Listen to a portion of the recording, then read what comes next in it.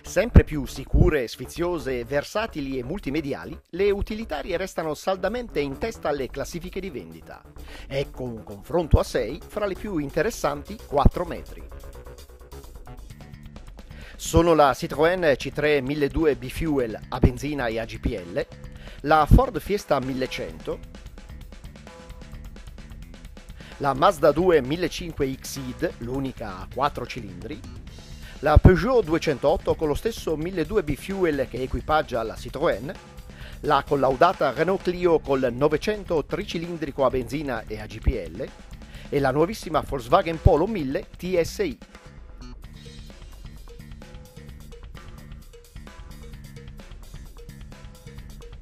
Ben riconoscibile per il tetto colorato a contrasto, la Citroën C3 si guida con grande facilità.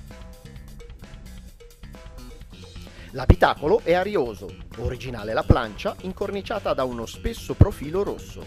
Grande e completo il cruscotto a lancette, corredato di un display LCD. Ampi e morbidi, ma poco sagomati, i sedili non trattengono tanto. Piatto anche il divano. La seduta, bassa, fa stare con le ginocchia contratte. Capiente il baule, penalizzato dalla soglia più alta del lotto. La C3 sembra più grossa delle rivali, ma in realtà è leggera, godibile e piacevolmente agile. Le sospensioni morbide garantiscono un ottimo comfort, ma innescano qualche oscillazione se non si impugna saldamente il volante. Il 1200 a tre cilindri non vibra tanto e ha una erogazione progressiva, anche se priva di verno.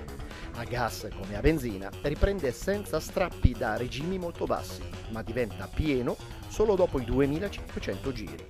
Insistendo arriva a 6500 quando interviene il limitatore. La Fiesta si adatta benissimo alla guida con piglio sportivo sulle strade più tortuose. Rivoluzionata rispetto a quella del vecchio modello, la plancia ha forme moderne e inserti lucidi.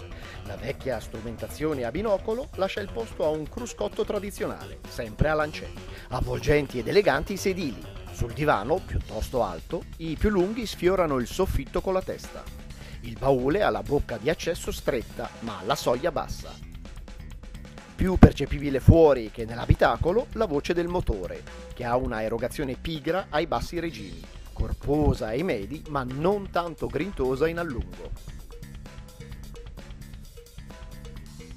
Nella guida si apprezza lo sterzo rotondo e ben calibrato, ma non leggerissimo, che permette di gestire le traiettorie con precisione.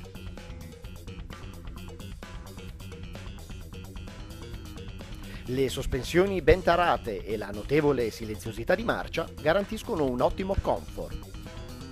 Quando si arriva al limite è gradevole e redditizia la tendenza a chiudere le traiettorie con la coda. Caratterizzata da un'inconfondibile mascherina, la Mazda 2 offre un'impostazione di guida quasi sportiva. Nell'abitacolo, non tanto arioso, la plancia ha un disegno poco appariscente.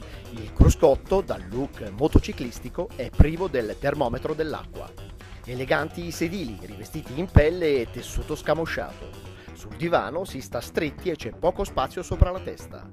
Limitata la capienza del baule, non ben sfruttabile.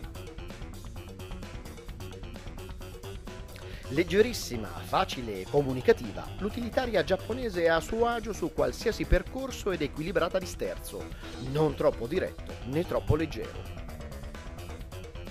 Il 4 cilindri è brillante, ma bisogna tenerlo su di giri per farlo rendere al meglio.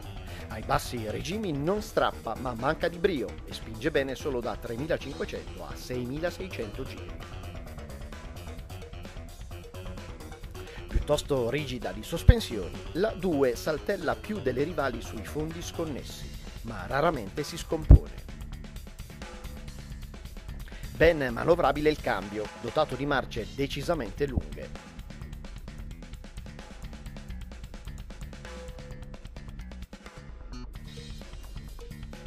Superfici lucide e profili cromati vivacizzano la 208 dalla fisionomia inconfondibile. L'abitacolo sembra quello di una vettura di classe superiore, Arioso, ben rifinito e con una plancia originale. Completo ed elegante, il cruscotto è disposto in alto. Con i loro fianchetti pronunciati, i sedili contengono bene. Il divano è morbido e ospitale anche al centro. Limitato in altezza il baule, la cui capienza supera il metro cubo con lo schienale reclinato. Lento nel riallinearsi e sensibile, anche per via delle sospensioni morbide, lo sterzo è pesante e non sempre preciso negli inserimenti in curva. Specie su fondo irregolare, va impugnato con una certa forza. Apprezzabile il comfort di marcia, garantito dalle sospensioni morbide e dalla ridotta rumorosità che filtra nell'abitacolo. Anche a causa dei rapporti lunghi, la spinta non è vigorosa. Il 1200 riprende bene da 2500 giri, ma non ha un allungo irresistibile. Arriva a 6500 giri solo insistendo.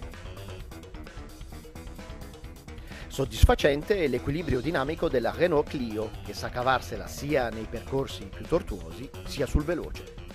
Tutt'altro che sfarzosa, la plancia ha un disegno sobrio, più vistosa la console. Originale il cruscotto, privo del termometro dell'acqua. Elevato il comfort garantito dagli avvolgenti sedili. Altrettanto accogliente ma meno infossato il divano nel capiente baule il gradino di 20 cm impedisce di far scorrere i bagagli. La tenuta di strada è penalizzata dalle gomme strette, ma le sospensioni sono bilanciate e i freni potenti, modulabili e mai bruschi. Preciso e progressivo lo sterzo, è fin troppo reattivo in riallineamento, ma permette correzioni efficaci.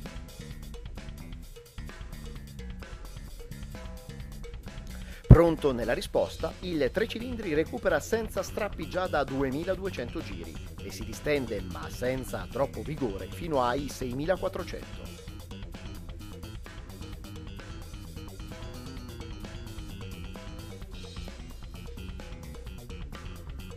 Davvero bilanciata di sospensioni, la Volkswagen Polo è un piacere da guidare, anche con piglio sportivo.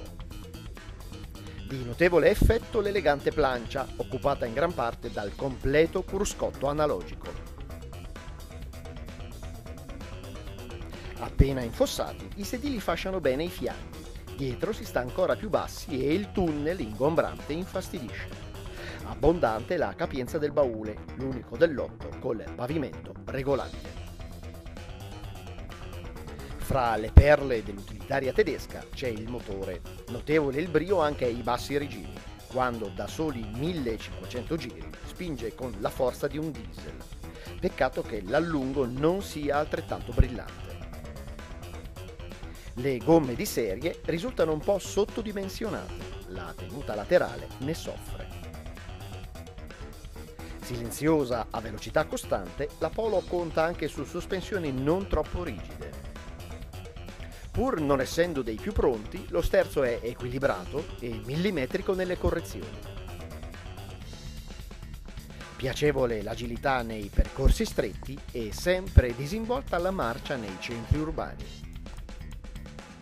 Al limite, il posteriore si alleggerisce e parte per la tangente quando si toglie il gas. La Polo offre prestazioni superiori a quelle delle rivali, sia in velocità massima, sfiora i 190 effettivi, sia in accelerazione. L'unica che può avvicinarla è la leggerissima Mazda 2, più tranquille le tre francesi B-Fuel. L'ottimo rendimento del motore della Polo viene confermato anche dai consumi più bassi di quelli delle rivali. Grazie pure alle gomme più grandi, la C3 brilla in frenata mentre la Mazda 2 accusa spazi di arresto molto più lunghi.